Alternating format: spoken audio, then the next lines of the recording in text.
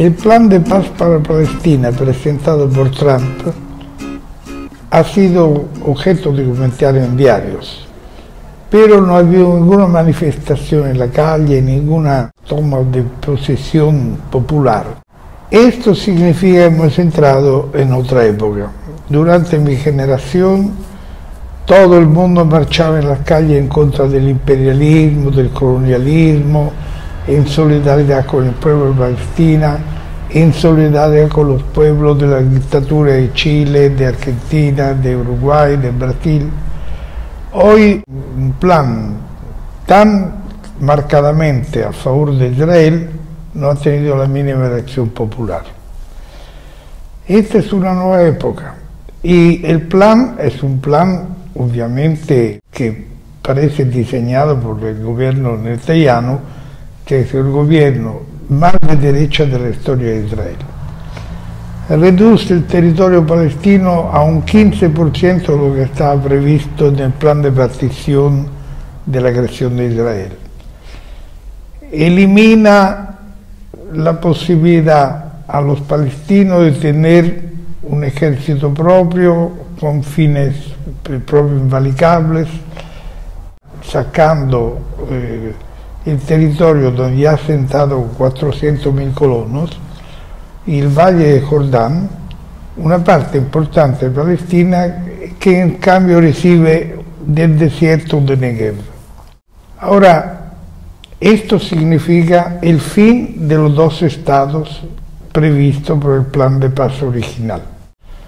Los palestinos por encima están divididos entre la parte más radical y la parte más moderada, tienen un sistema electoral desastroso, por lo cual no hay en realidad una democracia palestina, han perdido ocasiones importantes en el pasado para tener un plan de paz una negociación menos desalocada de eso, y, cosa más importante todavía, los países árabes han dejado de tener solidaridad con Palestina ya no le interesa, algunos están claramente negociando con Israel. Arabia Saudí y Emiratos, que son la espalda del Medio Oriente de Trump, ya han dicho a los palestinos, tomen eso. Trump ha dicho, esta es la última oportunidad para Palestina, con lo cual la causa de dos estados está definitivamente eh, sin futuro. Esto nos lleva a otra consideración. ¿Por qué Trump hace eso? Probablemente una parte porque le gusta Netanyahu y otra parte porque tiene un reflejo, como todos los americanos conservadores, de apoyo a Israel. Pero la realidad es otra. Él hace eso porque le asegura los 60 millones de votos de los evangélicos que son para la idea que Palestina desaparezca y vuelva a existir solo Israel, porque según el código religioso de ellos, esto significa una segunda vuelta de Jesús a la tierra, donde todos los demás van a ser juzgados por, una, por Dios de manera negativa y solo ellos se salvarán. Entonces, sobre una, digamos, imaginación que comparten 60 millones de personas, la condenada es Palestina. Última consideración. La democracia es un instrumento perfecto porque representa lo que piensan sus electores.